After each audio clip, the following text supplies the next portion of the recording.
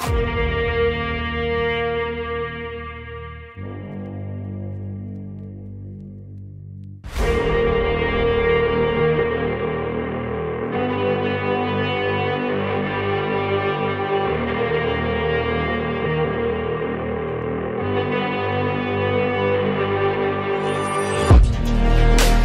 はい、ということで皆さんこんにちは、朝岡修です。本日も動画をご覧いただきありがとうございます。さあ、本日の動画でございますけれども、これも何ヶ月越しだよみたいな動画なんでございますけれども、ようやくちょっとね、落ち着いてきたんで、ちょっと滞ってたね、動画もね、出していきたいなということなんでございますけれども、今日は一応ね、スニーカーレビューみたいな感じなんですけど、いつもだとね、こう、スニーカーの歴史だったりだとか、あとはちょっとこう、合わせ方みたいな感じで、コーディネート組んだりしてるわけなんですけれども、今日はね、かなり面白いギミックがですね、隠されたスニーカーのレビューということなので、まあ、そのギミックをですね、今日の動画では楽しんでいきたいなというふうに思いますんで、これなかなかね、動画で見る機会ないと思うんで、ぜひ最後まで見ていってください。ということで、今日取り上げさせていただくスニーカーがですね、こちらでございます。ドン見たことないですよね、この箱ね。こちらはですね、ナイキとソーシャルステータスというですね、スニーカーショップのコラボレーションによるアタックク SP というモデルなんですけれども、通称最近マックアタックと呼ばれているモデルですね。このスペボもめっちゃかっこいいんですけど、肝心のスニーカーがこちらということでですね、見てくれ、この美しさ。僕が大好きなグレーカラーとですね、この淡めな感じ、ピンク色もちょっと差し色に入ってたりするんですけど、こちらのですね、マックアタックがですね、なぜ手元にあるのかと、これ日本発売なかったんですよ。なぜかというと、僕がですね、7月、8月にかけてですね、行っていた、前回のアメリカ編でですね、このソーシャルステータスというですね、スニーカーショップがあるノースカロライナ州に僕遊びに行きまして、その時ね、このソーシャルステータスの店舗にも行きまして、ちょうどその時にね、テント抽選をやってたんですよ、オンラインの。で、まあ当たんないでしょうと思って、この現地のね、仲良くしてくださってる方のですね、まあ住所を借りて、応募したところ、なんと当選と。一応抽選に関してはですね、オンライン抽選って形なんですけど、店頭でそのオンライン抽選をすると、なんかね、ちょっと優先リストみたいなのに入れてくれるみたいですね。まあ確実に買うであろうというですね、ことなんだと思うんですけれども、まあ、その効果もあってか、なんと、見事ゲットということでですね、まあ、こちらが手元に届いたわけでございまして、これに関してですね、朝岡会ノースカロライナ支部の皆さんのですね、お力添えをめちゃくちゃいただいた一足なので、本当にありがとうございます。まあ、そんなですね、まあ、旅の思い出も詰まったこちらの、えー、マックアタックなんですけれども、で、こちらの一足に関してはですね、最近ちょこちょこ復刻して、あの、トラビスが履いたり、レブロンが履いたりしてて結構話題になりましたけれども、もともとはですね、1984年にですね、ジョン・マッンローというテニスプレイヤーに向けて作られたシグネチャーのシューズということで、一応コート系のね、シューズにはなるんですけれども、最近だとね、ネイビーとグレーのオジカラーが復刻されましたけれども、まあそちらのですね、ソーシャルステータスコラボということで、まあこれめちゃくちゃね、もうすでにかっこいいんですけど、なんとね、このスニーカー、剥けるんですよ。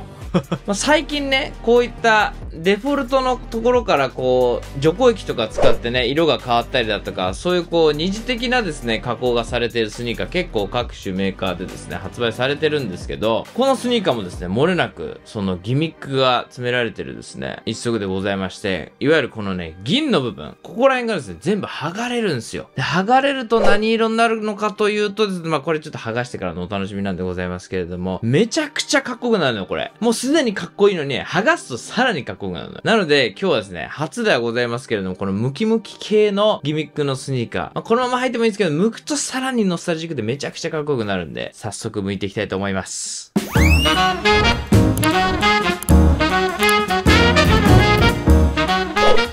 さあ、ということで、ちょっと早速向いていきたいんですけれども、まずこのスペボーとかね、ちょっと備品とかも紹介していきたいと思います。まずはこのね、ソーシャルステータスとこうロゴの入ったスペシャルボックス。これかっこいいよね。全体的に結構こう遊び心が効いてる感じのですね、ボックスでございまして。これ開けるとこんな感じでね、なんかね、スーパーマーケット的なですね、デザインイメージっぽいですね。なので、こういうエコバッグとか、ちょっとね、ローカルな感じのアメニティもついてて、このね、シューレースの入れ物とかもちょっとこうポップなジェリービーンズみたいな感じのですね、デザインになってるんで、ここら辺がやっぱコンセプト重視なアメリカブランドっぽいなっていう感じで、めちゃくちゃいいよね。ちなみに付属のシューレースはですね、こちらのピンク色がございます。はい。で、プラスしてね、このソーシャルステータスでこう、使えるようなポイント券みたいな、ちょっとドル紙幣っぽいイメージなんですけど、こういうのもね、ついてたりして、これ実際使えんのかな？ちょっとわかんないんですけど、ちょ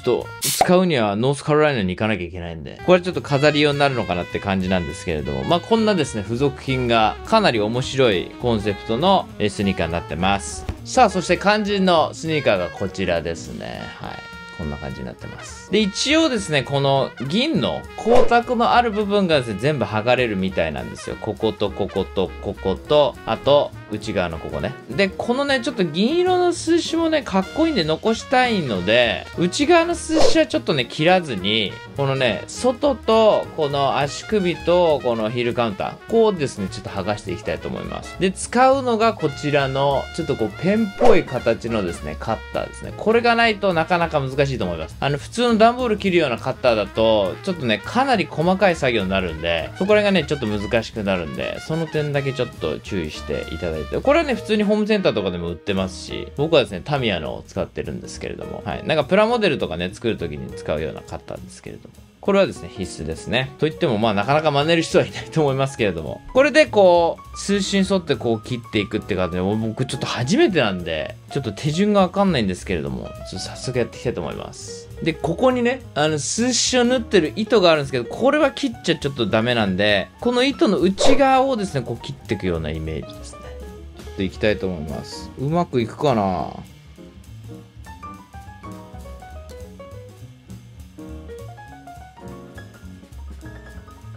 おおあ切れてる切れてる。あ結構薄いですね。生地に関しては。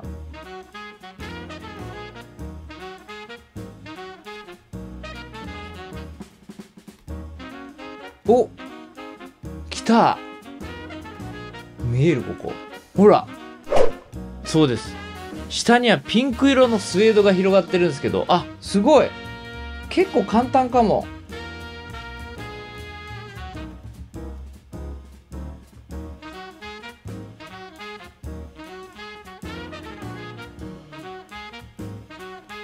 うわめっちゃかっこいいじゃん、これ。下の。かなり毛深いスウェードが出てきましたね、これ。うわ、かっこいい。めっちゃ楽しいんだけど、これ。おお、お、できた、出た、できた、できた。あ、結構簡単に剥がれんだね、これ。ほんとめっちゃ薄い素材だわ、これ。お、てれーんこういう感じなんだ。うわ、めっちゃ気持ちいい、このスウェード。めっちゃ楽しいわ、これ。ちょっとこの調子でいこう。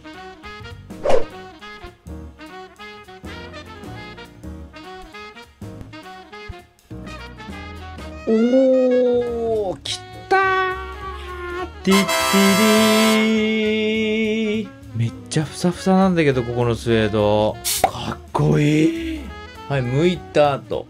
剥く前。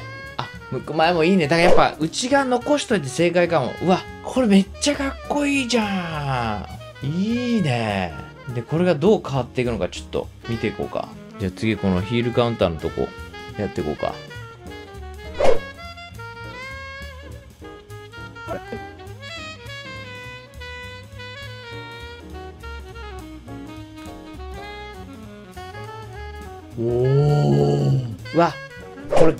とも向けるとまたピンク感出てきて、むっちゃいいね、これ。うわ、ちょ、かっこよ。この数詞を切るなんていう経験はなかなかできないですからね。抜け殻たちが ここにいますけど。じゃあ、一番難しそうなこのライニングのとこ行ってみようか。でも全体的に全然難しくないな。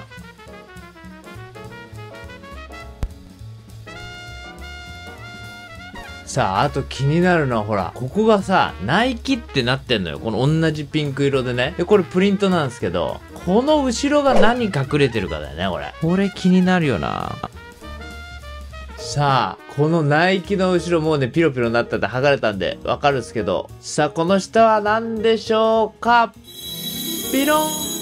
おーナイキの後ろにはこのソーシャルステータスのロゴがね、隠れてましたよと。いや、粋だねここら辺も。うわー、これ楽しいわ。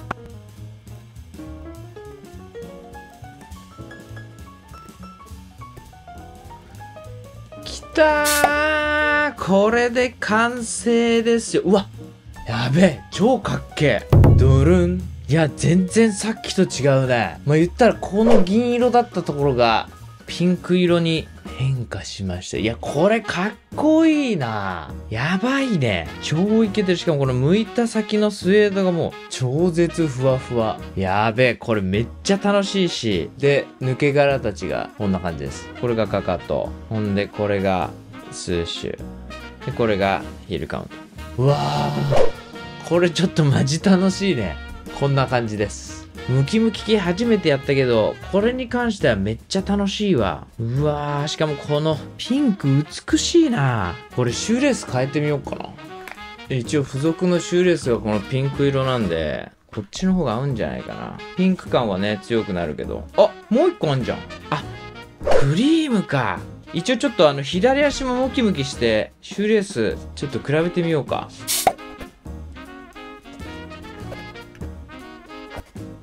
いや待ってめっちゃ可愛いじゃんこれ。ピンピンクだなこれ。決まりだな。一応ちょっとクリームを通してみるか。さあ左も向いてきましたけど。シンプルにこの付属のグレーもかっこいいんだけどね。ただまあちょっとクリームを見てみよう。さあどっちも通し終わったけどやっぱピンクじゃね？これがいいよね。こっちもいいけど最適ではない気がするな。こっちの方がちょっとこうミルキーな感じがして、すごくいいんだけど、言うてミッドソールもそこまでクリームかっていうと、若干こうピンク寄りの土ついたみたいな感じの加工になってんだよね。だからちょっとこれだとシュレス浮いちゃうわ。やっぱピンクか。まあ、ピンクか。デフォのね、このついてたグレー。これもめちゃくちゃいいから、その2つで迷うかな。いやでもやっぱピンク押ししてった方がこれはポップで可愛いかも。いや、ボックスに関してもね、やっぱりポップな感じで、ちょっとスーパーマーケットな感じ、お菓子な感じだったんで、これじゃね？うわ、めっちゃいいんだけど、超かっけえ。で、一応ですね、このフロントのタグ、OG はね、ここキューブ状な感じになってるんですけど、シンプルなナイキにですね、まあちょっとポップな感じのギミックが効いたタグになってますね。で、後ろにソーシャルステータスのロゴ。で、タンのタグはですね、この左足に関してはソーシャルステータスのロゴになってますね。左右でね、タグが違う感じになってます。いやー、かっこよ。ほんでね、一応ミッドソールはこんな感じでヴィンテージのまあほんとカスタムした感じですね筆でこう本当にミッドソールカスタムしたかのような具合のですねヴィンテージ加工が入ってましていや、改めてめちゃめちゃかっこいいね、このやつ。マジで当たってよかったわ。これ日本で入ってる人ほとんどいないでしょ、これ。いや、こういうのがめっちゃ上がっちゃいますね。いや、かっこいい。ということで、ソーシャルステータスコラボのマックアタック、ムキムキ会でございました。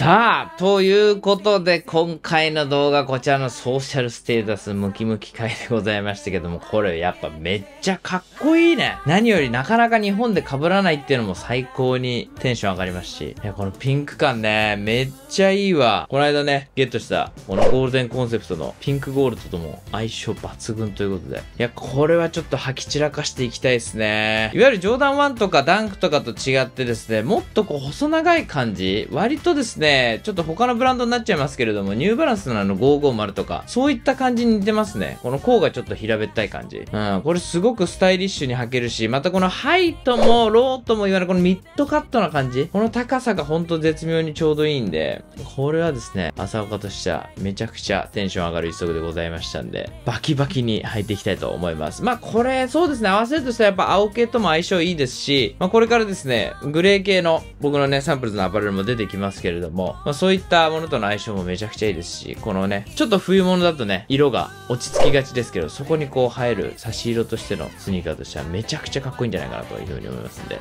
愛用していきたいなというふうに思っております。いや、いいわ。マックアタックでもかっこいいね。いいね。なんかスニーカーにこういうちょっとギミックが隠れてたりすると、まあ、さらに面白いですし、ちょっと木をてらった感じになっちゃうじゃないですか。ギミックやると温度で色変わるとかも、なかなか私生活で変わることもないですし、結構ね、そこ敬遠しがちだったんですけど、これはですね、このギミックの先にさらなるかっこよさがあるっていうところもですね、一つポイントのスニーカーかなというふうに思いますんで、こう、削ると色変わるよっていう手法にこだわったんじゃなくて、あえてこのトレードマークであるピンクを隠しといて、剥くと出てくるよっていう、これがちょっと粋な感じでございまして、もう朝岡的にはもう大満足の一足。いや、かっこいい。早く街で履きたいと思います。それでは今回の動画面白かったと思ってくださった方は、ぜひ今回のグッドボタン、そしてチャンネル登録の方もよろしくお願いいたします。それではまた次回の動画でお会いします。See you next movie. じゃあね